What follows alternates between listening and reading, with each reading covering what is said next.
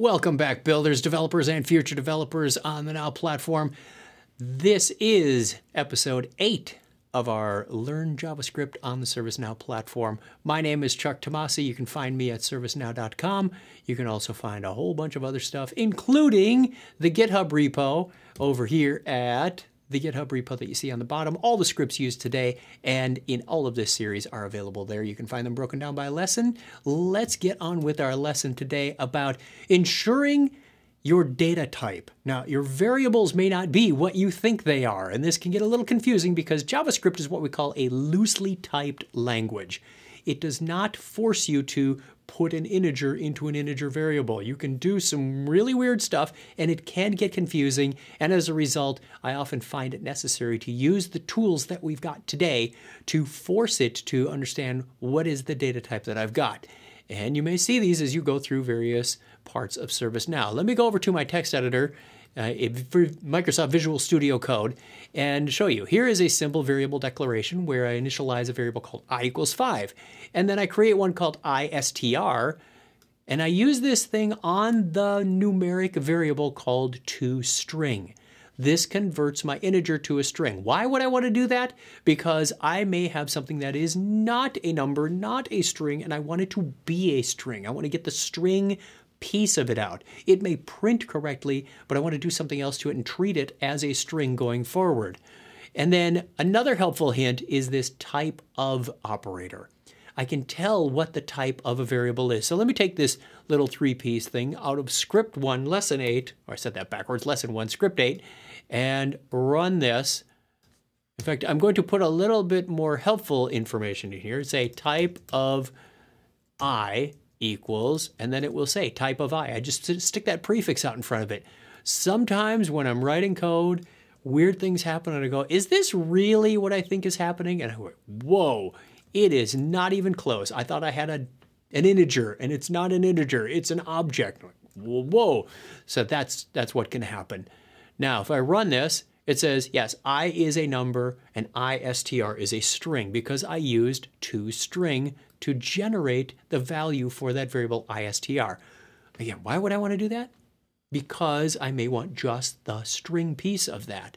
Now, if I look at the rest of this and say, I can turn it back into a number by using parse int. And there are some variations of how you want to use parseInt, but this is a very simple one to say, go turn this string into a number. And I can use type of again to say, now, what is n? Let's put that on the end of my script here and say turn, it, turn i string back into a number and print out what the value is.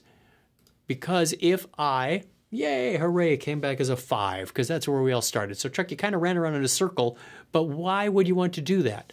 Well, again, if I wanted to say, what is gs.info n plus i, I would get 10, I would hope, because 5 plus 5 is 10. Let's put a little label on here so we know where we are.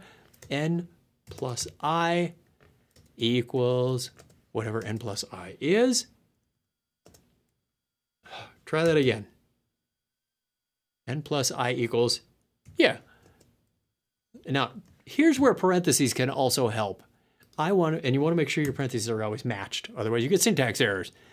I want to concatenate on the value n plus i, but it could be going plus n plus i, not really what I wanted.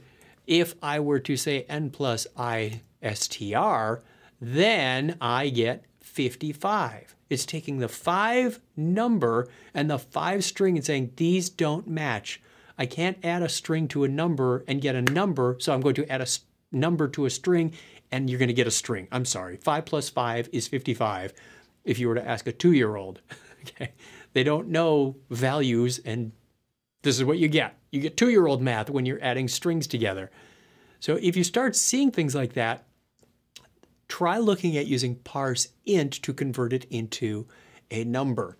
You can also use parseFloat if you wanted to put it a, turn it into a floating point number.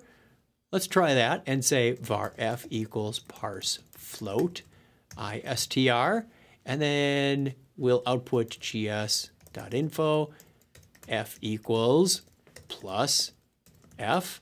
See what that gets for our f value. Well, what do you know? It turns up 5.